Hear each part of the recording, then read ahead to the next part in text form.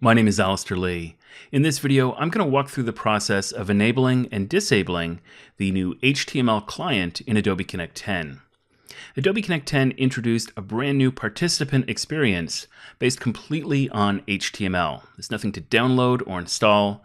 It's faster, it's even more accessible, but it doesn't yet support every content type. If you're sharing PowerPoint slides, uploading a video, or using a whiteboard, then participants in the HTML experience won't be able to properly see everything that's going on. Let's take a look at a room. I'm going to switch over to the host view of this particular room.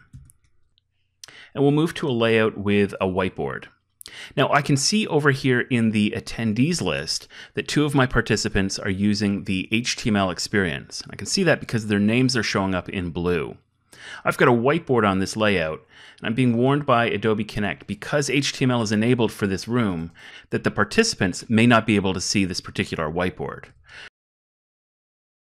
From the participant's perspective, they'll be warned that this feature is not yet available. They'll be prompted to switch to the classic view. They can do this at any time from the menu as well. We've got links here to download the Adobe Connect application and switch to the classic view that supports all of these features. Let's take a look at how to enable or disable this HTML experience. You can do that in two ways on an Adobe Connect account. First, at the account level for the entire account, affecting everybody and all of their rooms. You can also enable or disable this HTML experience at the room level. By default, the HTML experience is enabled at the account level, meaning that everybody will have access to it, but it's disabled at the room level, meaning your existing Adobe Connect rooms and even your new rooms by default will not be available using the new HTML client. That's easy to change, so let's take a look at how. First, we'll look at how to affect this at an account level. I'm going to click on Administration and then move to Compliance and Control. And here I've got HTML client settings.